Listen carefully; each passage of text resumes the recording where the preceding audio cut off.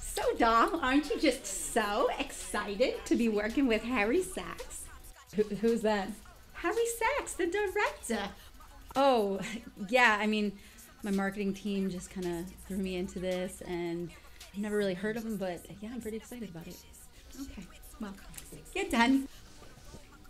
But you, my hair.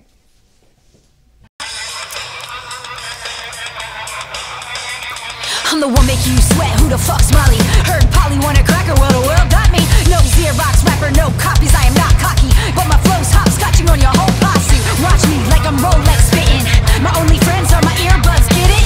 Some are salty, wanna glare from a distance. I stay on their mind like new era fitteds Just listen, like Sid I spit vicious. The chick wits on the cut like six stitches. I'm on a roll, my career is a biscuit Cause I bred with the best and I guess I'm delicious. Yeah, out of pocket like a lost wallet